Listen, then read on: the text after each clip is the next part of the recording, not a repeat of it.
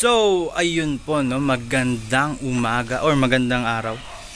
So, ito, ah, ang gagamitin kong motor ngayon, ah, yung Honda Click ni Kuya, okay? Honda Click 125i. Yeah, re-review rin natin siya, yung specifications, ah, presyo, ano pa ba? Basta yun, basta kung anything na about dito, okay? So pupunta ako ng Santa Rosa, Laguna, Santa Rosa, Calamba, Laguna pala, sorry. Calamba, Laguna ngayon at tetestingin natin to. Let's go! So,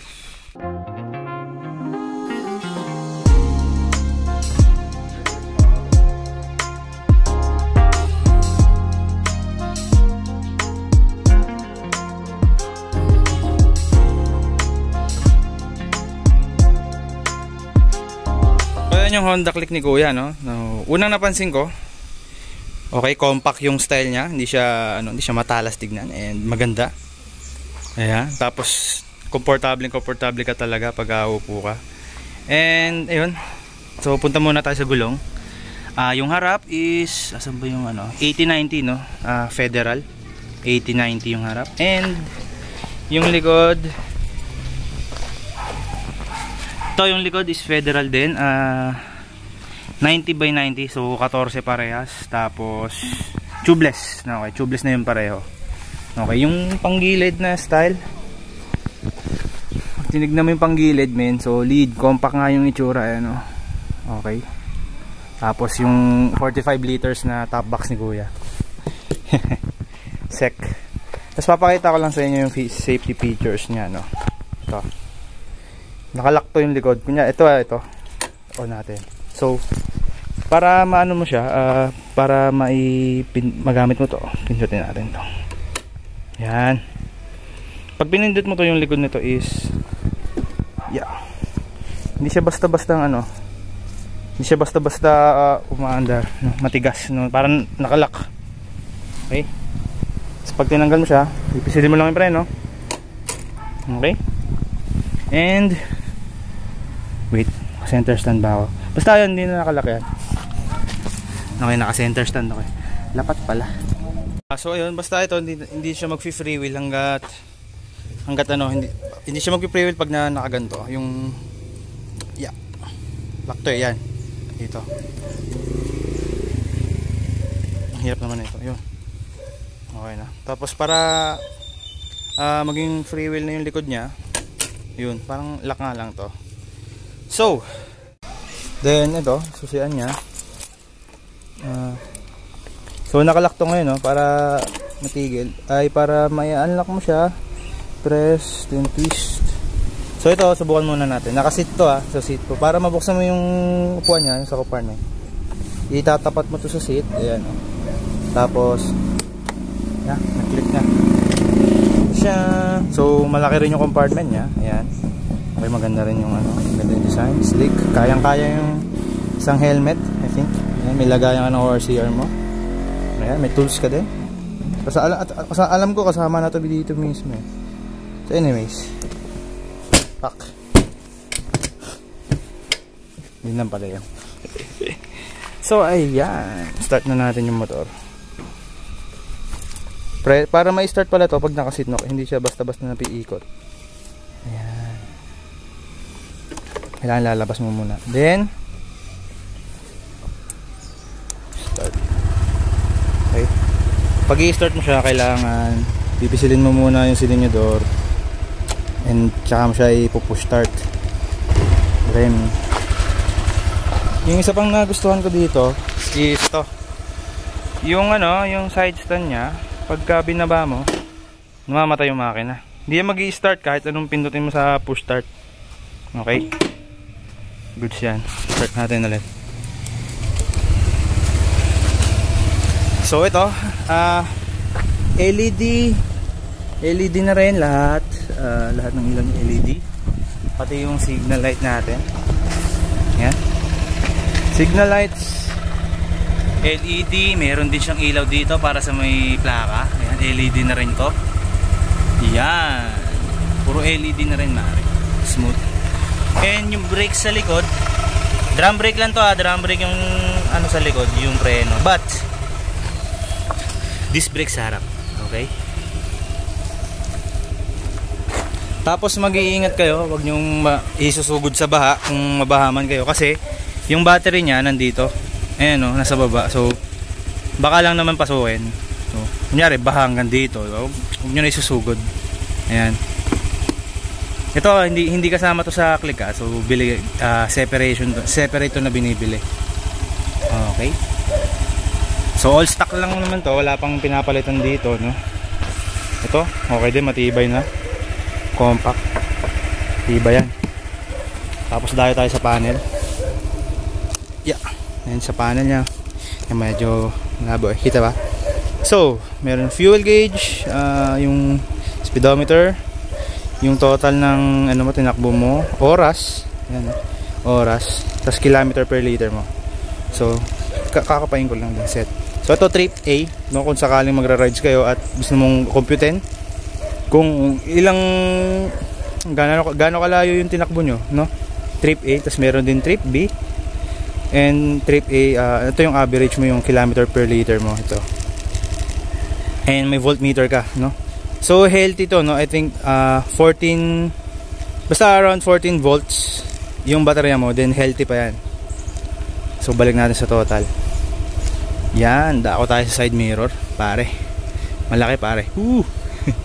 So medyo sa akin medyo malaki siya no. Stock to ah, stock. So ang ganda ng ano niya ng design niya tapos medyo mataas konti.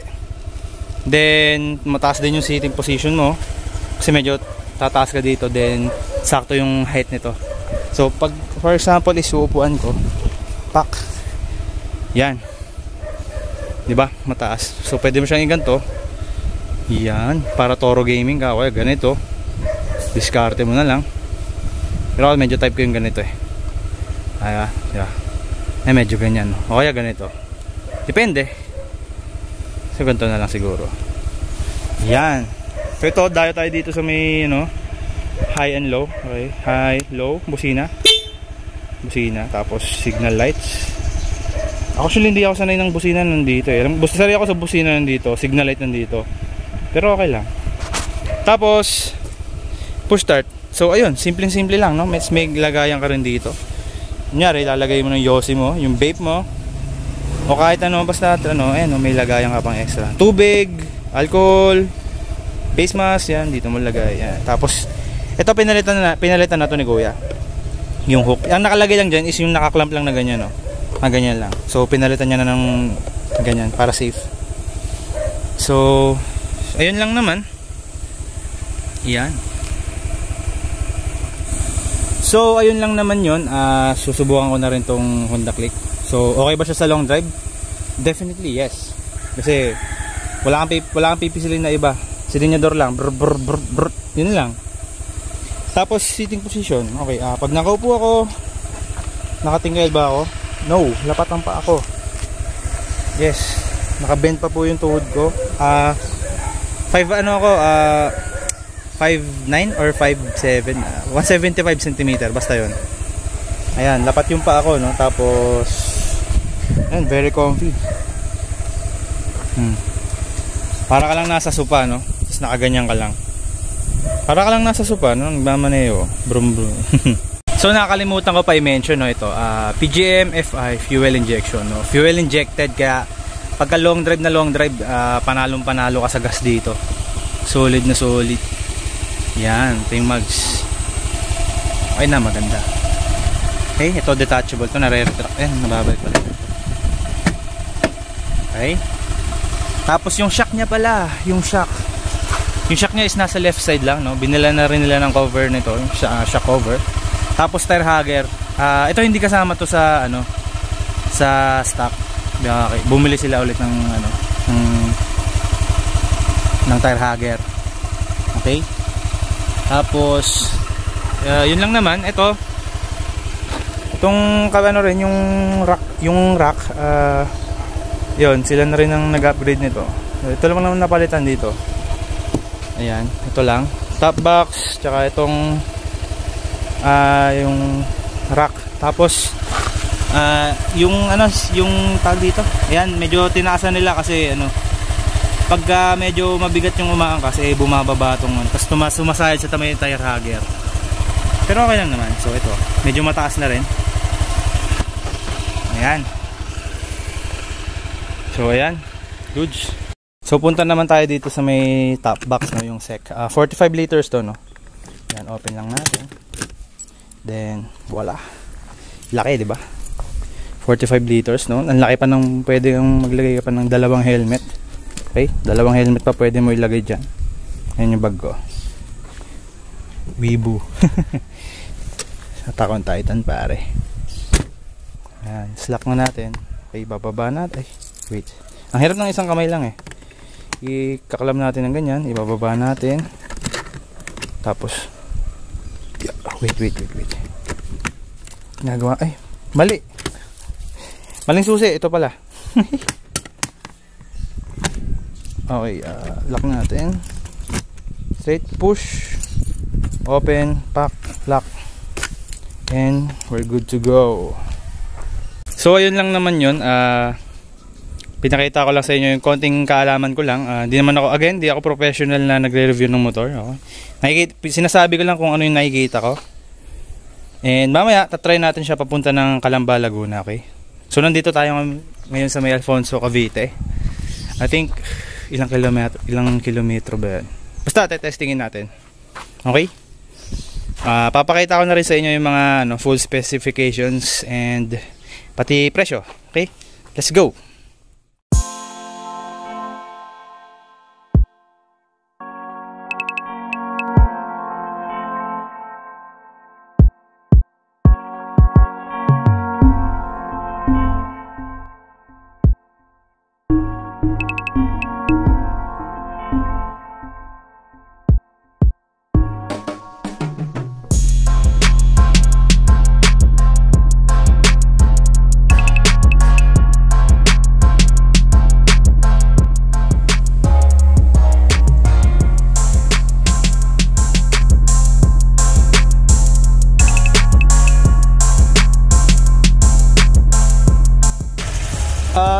Ayun no, uh, naipakita ko naman sa inyo yung ano, uh, yung about sa Honda Click uh, 125i.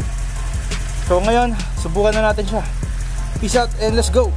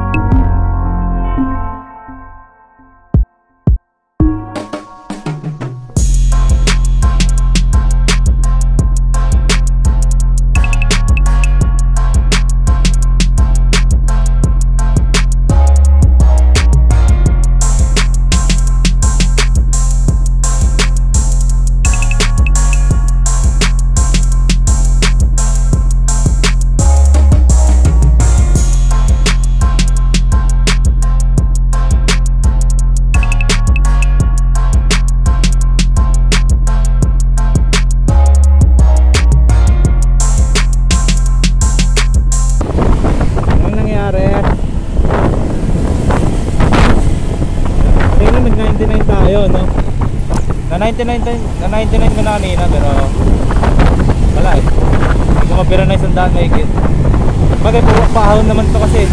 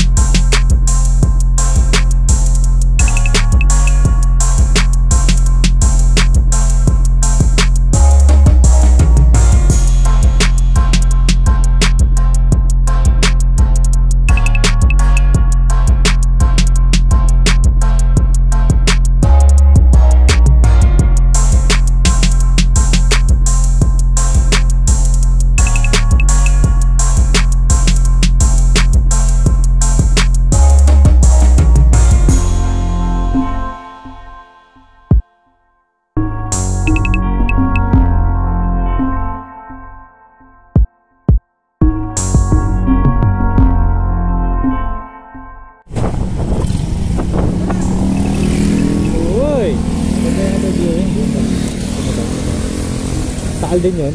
Yung Batulaw.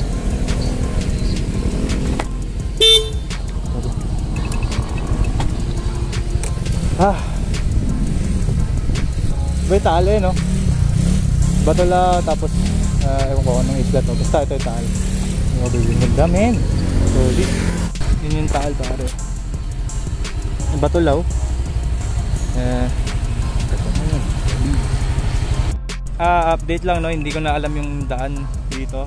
Kaya, magwe-waste na ako. So, hindi mo na makapag-vlog. So, mamaya na ako magko-comment talaga. Tragedy kasi, yung software na gamit ko is nagloko. Kaya mamaya na lang. Balikan ko kayo. So guys uh, update lang. Nandito ako ngayon sa Metalisay no? O Ligaya Drive pare. Solid. Ang ganda ng daan. Teka papakita ko sa inyo mamaya. Ayun yung mga kurba kurbada pare. Ang ganda oh. Tapos overviewing pare naman ganda di ba tara game try papakita ko sa inyo tong daan yung talo.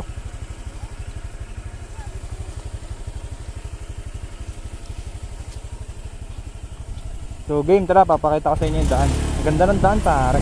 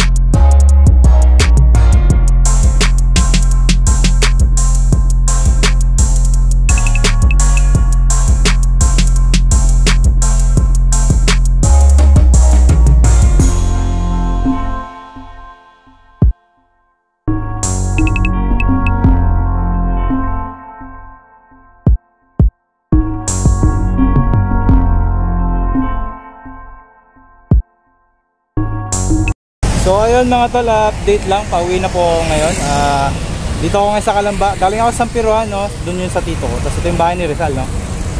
Yan. Yeah. So mamaya, ah uh, mamaya sabihin ko kung ano, kung ano experience ko dito sa pagmamaneho. Ngayon di ko kasi alam yung daan kaya gamit ko tong phone ko na ano, uh, gamit ko tong phone ko ngayon kaya nag-waste ako. So mamaya kita-kits na lang. What's up guys? Nandito ako ngayon sa may General Lunang kalye na hindi ko na alam kung saan to. so ayan, makikita nyo yung bundok. Uh, hindi ko alam kung saan din to, kung anong bundok yan. Tapos yun pare, sunset pare. Teka, i-zoom natin. Eh no? Woo! Ang ganda ng lugar men. So, yan. Diretso tayo, comment tayo saglit dito sa may Honda Click. So ayan guys, ito yung Honda Click natin. Tignan nyo pare oh. Ang ganda ng view men. Tapos sa kabila naman, para ano, para sunset naman. Yeah pare goods pare yan picture picture lang. So ano yung experience ko kanina? Okay una una hindi ako napagod sa paggamit sa kanya. Okay nasisingit-singit ko siya kahit medyo malaki yung kaha niya. Okay tapos ang lakas ng arangka niya grabe yung acceleration para isang mm, isang silinyador bang grabe yung power niya grabe solid yung power niya okay. Given na ano ko na 100 kilo ako or something or 90 plus ganun. So okay naman uh, tipid siya sa gas as in papunta pabalik mga let's say 100 kilometers nasa 2 litro lang yung kain nito konsumo okay riding height uh, riding position ko okay na okay walang ngalay sa katawan ko. Goods na goods gamitin pang long ride pare Nangalay ba yung kamay ko? Hindi, wala akong hinahawakan na clutch. Puro silinyador lang. Okay? So, all in all, okay, okay na to. No? SRP pala nito is around 76,900. Okay? Itong click. So, hindi pa kasama yung top box nun. Ibibili kayo ng iba. So, ayun lang yun. pasensya na pala kanina hindi ko na ano, hindi ko napakita yung biyahe kasi gamit ko yung phone tsaka nagwe-waste ako so hindi ko kabisado yung daan. Sandayan pasikot-sikot, no? So ayun lang po. Yan, so ayun guys, uh, bago ang lahat, no? Bago ko tapusin tong video ko. Shoutout muna sa pamangkin ko si Kenji, uh, kay Boss Tag, tsaka si ano, si Marbs Moto pare. Yan, shoutout sa. Subscribe kayo kay Marbs Moto pare. Uh, suportahan natin ng vlogging community ng Pilipinas. Yan. So sa mga nakanonood at uh, tinapos tong video sa dulo, ano, maraming salamat po. At uh, yun. So ayun guys, uh, ano, uh, uwi na rin ako, no. Uh, talagang dito ko lang naghanap lang ako ng pwesto na ano, na maganda tapusin yun. Ito nga nakakita ko. Uwi ng bundok. Tapos sunset dito. Shit man. So ayun lang yun guys, uh, maraming salamat po sa panonood. Once again, ito si Moto Usok, no. Uh, panibagong biyahe ulit. Okay? So, so sa mga hindi pa nakakakilala sa akin, ako si Moto Usok. Uh, subscribe kayo sa aking YouTube channel, like, share, and subscribe. Follow nyo rin yung Facebook page ko, Moto Usok, for more updates. Saka, yun lang yun pare. so yun, ang ganda pare, teka lang, teka lang. Papakita ko lang yung view. Yeah. Yun guys, ha, pauwi na ako. No? Once again, uh, hindi po ako eksperto sa pagre-review. No? Isa po akong normal na taong nagmamotor lamang. Tsaka, uh, sinasabihin ko lang yung uh, sasabihin ko lang yung experience ko no lahat ito base sa opinion ko uh, tsaka base rin na rin sa mga nare-research ko po ayan so ito yung Honda Click ni Kuya ayan solid solid panalong panalo hindi hindi kalugi para para sa presyo no So ayun guys, maraming salamat sa nanonood. Dito ka natatapusin yung vlog ko, no? Dito ako ngayon sa May Kawalan. May General Luna, ewan ko ano to. May highway dito tapos patagos doon, highway ulit pa Batangas naman, oh. Tanawan ata. Basta 'yon, no. So maraming salamat sa mga nanonood. Peace out. Ride safe sa inyo. Bake safe din. Peace out. Bye-bye.